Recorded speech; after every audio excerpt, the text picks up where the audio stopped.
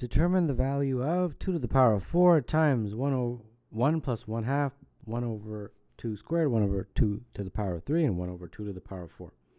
If you just multiply through, you'll get 2 to the power of 4 plus 2 to the power of 3 plus 2 to the power of 2 plus 2 to the power of 1, and then finally just 1. And this is 16 plus 8 plus 4 plus 2 plus 1 and when you add all those numbers up, you get 31.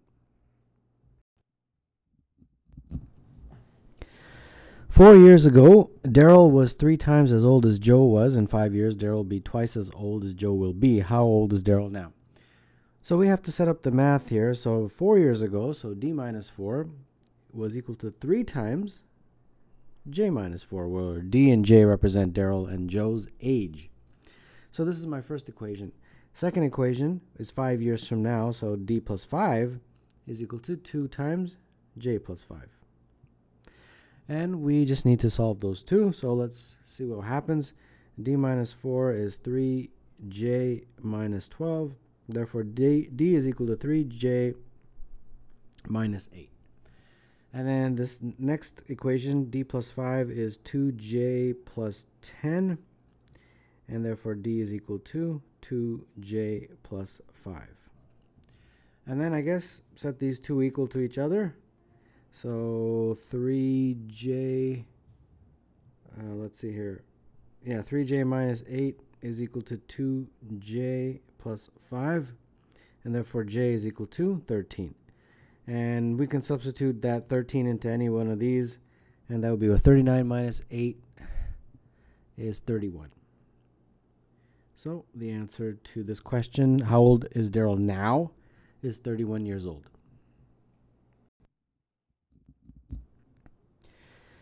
A die is a cube with its faces numbered 1 through 6. One red die and one blue die are rolled. The sum of the numbers on the top of the two faces is determined. What is the probability that the sum is a perfect square? Probability questions, numerator and denominator. The denominator is the total, and the numerator is our specific condition. Now, what is the total? Let's do that first. Each die has six possible outcomes, one through six. So six possible outcomes for this red die and six for the blue. And then the total you'd have to multiply. So 36 is the total number of, of uh, uh, outcomes when you roll the die. So that goes here. That's the total. Now, our specific condition is that the sum, very important that you remember it's sum, not product, of the top two numbers must be a perfect square. Okay, what are what are the perfect squares? We have 1 squared, which is 1, 2 squared, which is 4, 3 squared, which is 9, 4 squared, which is 16, and I think we don't need to go any farther because first of all, what's the maximum sum you could get? You could get a 6 and a 6, right? and that sum would be 12. So you're never going to get higher than a 12, so we don't need to worry about that 4 squared. Um, I think just these three will be sufficient. Well, 1 we can't get because to get a 1, you'd have to get 1 on, let's say, the red die and then a 0 on the blue die, but there is no such thing as a 0. So this one's out. But I think I can get a 4. The 4 is possible.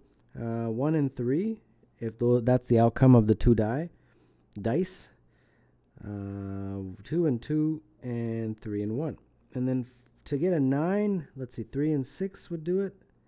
4 and 5 5 and 4 and 6 and 3 so these are the ones that will give you a sum. Uh, that is a perfect square and there's seven of those guys so 7 goes over there. And that is my probability. Determine the number of positive divisors of 1 8 800 that are divisible by 235. So the divisor, let's say, is x. If you divide it by, it's divisible by 235. That's the first condition. And it's obviously a divisor of uh, 1800, 18880. So 18800 is divisible by x. So that basically means that x is of the form 235, because this has to be some integer, right? Let's just call it n. So x is of the form 235 times n. Yeah, all, all the divisors of 18800 that are also divisible by 235.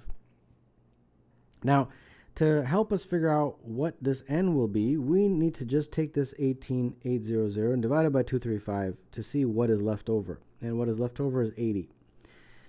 So, basically what this question is saying is what are the divisors of 80? Divisors of 80 and whatever they are, you just tag them along with this n. So for example, the divisors of 80, I believe, are 1, 2, 4, 5, 8, 10, 16, 20, 40, and 80. So every x will be of that form. So it'll be 235 times 1, or 235 times uh, 2, or 235 times 4, and so on. You guys get the point. All the way down to 235 times 80. And those are basically the, the, the positive divisors of 18800 that are also divisible by 235. And how many are there? Well, there's going to be one for each of these guys, and there's 10 of those, so there's 10 of them.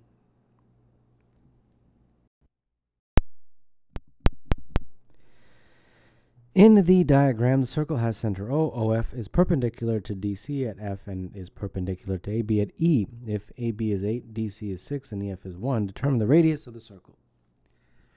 Let's set this up. Uh, let's see what we can do. Uh, the first thing, of course, I, I think is to draw some lines. So I'm going to draw one line from A to O and another line from D to O. So those two lines represent the radii and let's label them. So I'll put the R here, and then let's see here. The AB segment is 8, right? So that means AE is 4. So let's just squeeze in a 4 there. DC is 6, so that means DF is 3. Since the line that is coming from O to E and F is perpendicular, it'll chop those two chords in half. And then EF is 1. Okay, and then OE I'll just call X for now. So now let's set this up. From the triangle uh, AEO, from that guy, we'll get a Pythagorean relationship of 4 squared plus x squared is r squared. Right? And then from the triangle uh, DFO, that guy, we get 3 squared plus 1 plus x squared is r squared. I believe that's correct. So now let's solve this, I guess. Since this equals this and r squared also equals that, we can set those equal to each other. So we have 16 plus x squared is 9. And let's expand that 1 plus 2x plus x squared. And therefore we have 6 is equal to 2x, and therefore x is equal to 3. And then to get r, we can just substitute it back into any of those guys.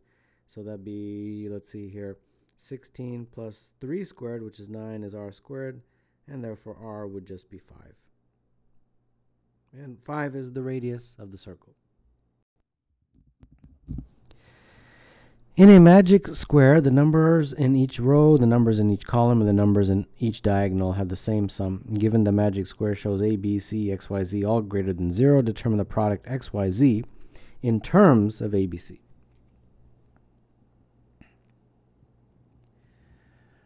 Well, um, many approaches here. I'm, I'm trying to think which approach is correct. Let's uh, let's just go with um, hmm. Let's go the top row. That's going to be the log of a plus the log of b plus the log of x. And that is equal to the standard sum. Uh, whatever that sum is, we can let that sum be s if we wanted to. And then that's going to equal something else. So let's go with the diagonal, the, the diagonal that's going from here to here. And that's going to be log of z plus the log of y and then plus the log of x. I believe that is right. Okay, now using log rules, this is going to be log of ABC is equal to the log of XYZ. Oh, sorry, not ABC. Uh, ABX. Sorry about that. Got a little ahead of myself. So log of xyz. Yeah. Okay.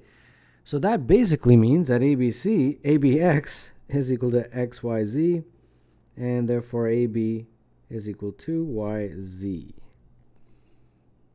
Yeah, and then I guess we can isolate for any of these if you wanted to, like that, and let's see what that does later on. Okay, so let's move right along. We got Z in terms of something. Let's let's see if we can get x and y in terms of something, and then let's see if we combine them and what happens. Okay, so uh, where where do we go next here? Um, hmm. Uh, a, y, and r. Let's let's go the other diagonal. So we have the log of a plus the log of y plus the log of or just just r, I guess, just r, and that's going to be equal to some other uh, some other. Let's try the the xc and r, xc and r, the the third column, top to bottom. So it's going to be the log of x plus the log of c plus r. So this is going to be using log rules again. a y is equal to the log of, uh, sorry, this should have been a c in there, log of xc, I believe, right?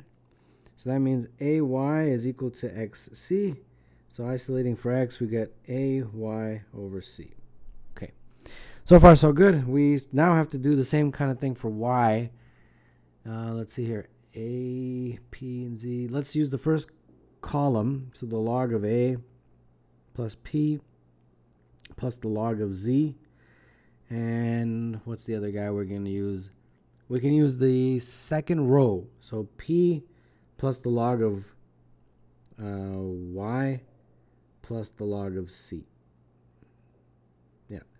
Okay, so the p's cancel, and then you just get using log rules A and Z is equal to the log of y and c, so therefore az is equal to yc, and therefore y is equal to az over c. All right, so now I guess we can combine it. Uh, we want xyz in terms of abc, so let's see what we get. X, y, z. Okay, so x is this guy. So a, y over c.